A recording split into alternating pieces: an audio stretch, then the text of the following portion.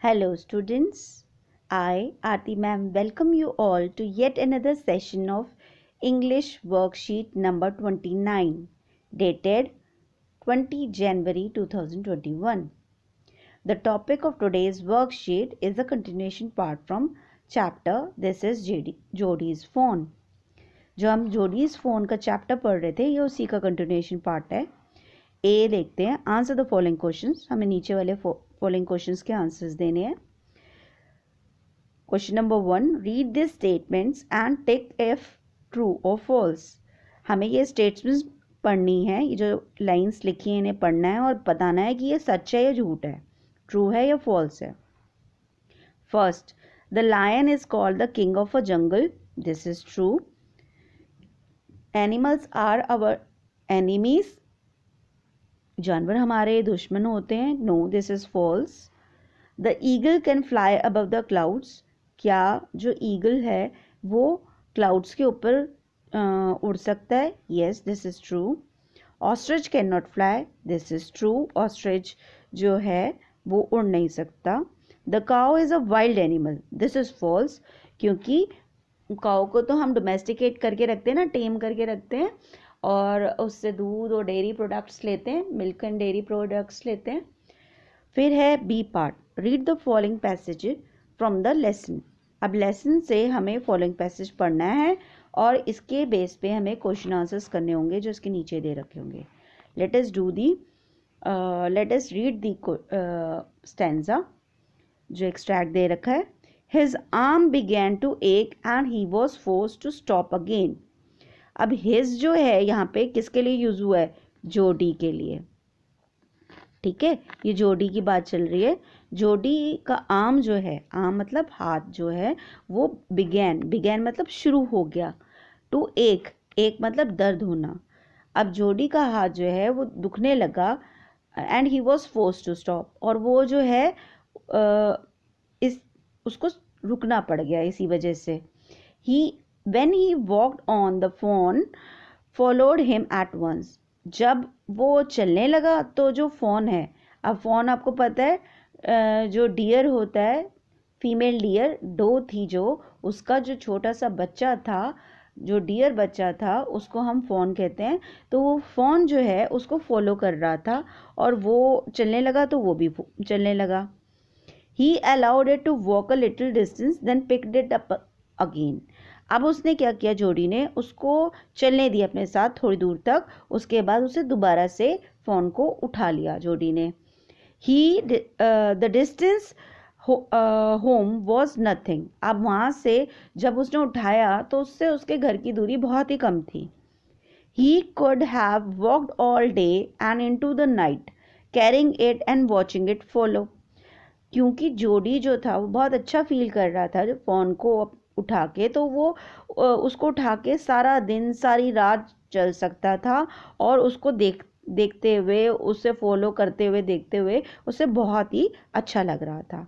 He was wet with sweat but a little breeze blew through the June morning cooling him जो, उस जोड़ी था, उसको वो गीला हो गया था। वेट मतलब गीला होना स्वेट मतलब पसीने से।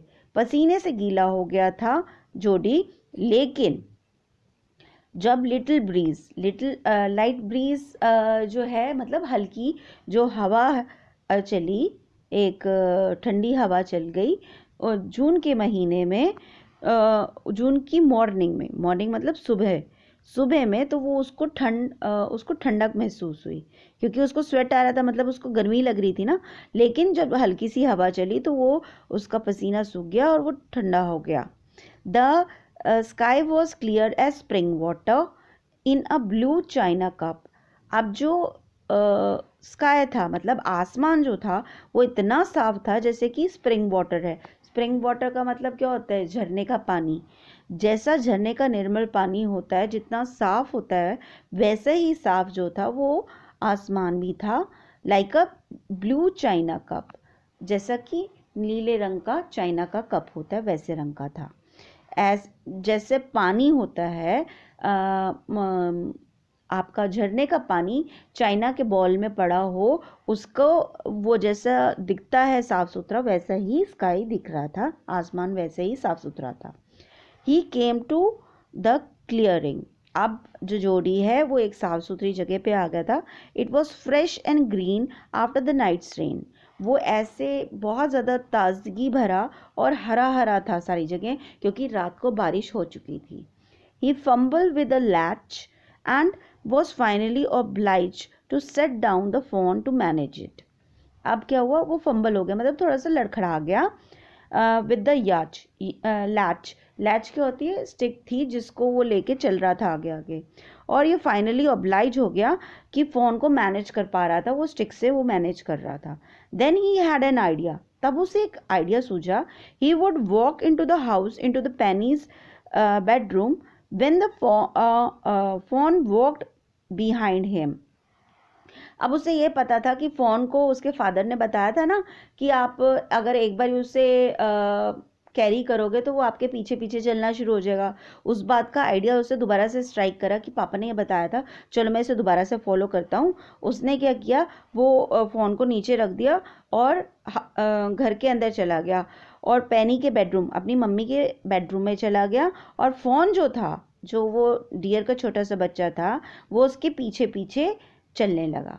But at the steps the fawn balked and refuse to climb them अब जो आ, लेकिन जब जो फ़ोन था मतलब डियर का बच्चा था वो जो था उसने स्टेप्स स्टेप्स मतलब सीढ़ियाँ आ गई सामने तो उसने उसको उस चढ़ाई वो वहाँ पे रुक गया हॉल्ट हो गया आ, और आ, वो उसको चढ़ना नहीं चाहता था क्योंकि उसने कभी चढ़ाई चढ़ी नहीं थी ना उसने कभी सीखा था किसी से क्योंकि वो अभी थोड़ी देर टाइम पहले ही तो पैदा हुआ था। He picked it up and went to his father तब जोडी ने फ़ोन को उठा लिया और वो अपने पापा के पास चला गया। पैनी ले विद क्लोज आई। और उसकी जो मम्मी थी पैनी, वो वहाँ पर लेटी रही अपनी आँखें मूंद कर। ठीक है? Let us do the C part now complete the following sentences using the hint given in the bracket अब हमें जो ब्रैकेट है, उसमें हिंट्स गिवन है, हमने उसके अकॉर्डिंगली ये भरना है। अब देखो सबसे पहले है dash arm began to ache and he was force to stop again अब यहाँ पे लिखा ना हिज आर्म मैंने आपको बताया था जोडीज आर्म की बात हो रही है तो इसको आप टिक कर लो Jody's it was the month of यहाँ देखो लिखा है ना June it was the month of June आप इसको टिक कर लो और यहाँ लिख देना जून फिर है the sky was clear as देखो यहाँ लिखा है the sky was clear as spring water in a blue china cup तो यहाँ पे आप लिखोगे स्प्रिंग वाटर ये आपका टिक कर दोगे, यहाँ पे लिख दोगे स्प्रिंग वाटर फिर है it was fresh and green देखो यहाँ लिखा है ना it was fresh and green green यहाँ पे लिखा हुआ है, हमने यहाँ से इसको टिक कर दिया आफ्टर द नाइट्स रेन ठीक है? तो फ़र्स्ट का आंसर हो गया Jody J O D Y Jody's आम फिर सेकंड का आंसर हो गया जून जे यू एन ई जून और थर्ड का आंसर हो गया spring water S P R I N G spring water W A T E R water next आपका आ जाएगा फोर्थ का answer green G R double E N green ठीक है? अब हम नेक्स्ट मूव करते हैं क्वेश्चन पे. हु वॉज़ पेनी पेनी कौन थी? शी वॉज़ जोडीज मदर आप लिखोगे Penny P E N N Y Penny was Jody's J O D Y Jody's mother M O T H E R mother तो ये हो जाएगा आपका answer number five let's come to the six question what happen to Jody's father अब Jody's father को क्या हुआ था? उनको रेटल स्नेक ने काट लिया था ना? तो बेटा हम यही लिखेंगे यहाँ पे। जोडीज इसका आंसर है, ये आंसर जो मैं लिख रही हूँ, बेटा ये सिक्स का आंसर है। ये है Jody's J O D Y comma apostrophe s jody's father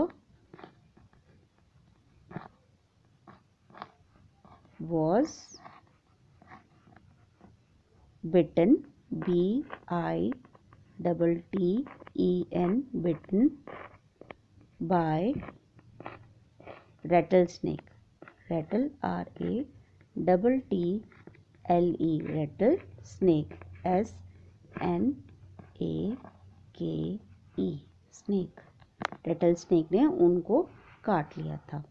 last question देखो क्या है? Seventh question then he had an idea what was the idea तो इसके अंदर हम आंसर लिखेंगे। ये थोड़ा सा आपको लिखना पड़ेगा। आंसर नंबर सेवन इसमें हम लिखेंगे Jody, Jody's, father,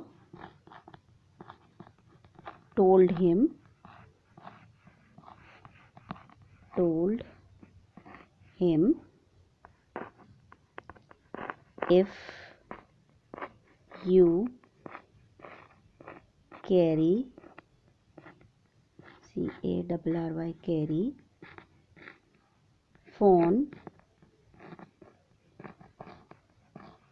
at first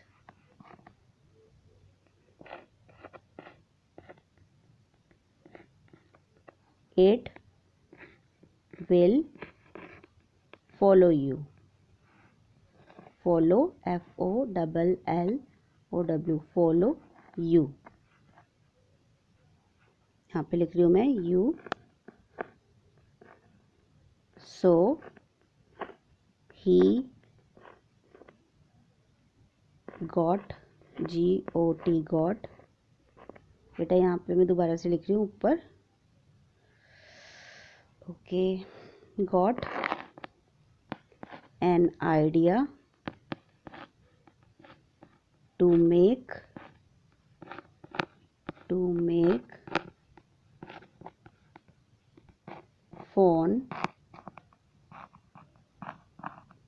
follow F O double L O W follow him ठीक है? तो आंसर मेरा ये हो गया सेवन का।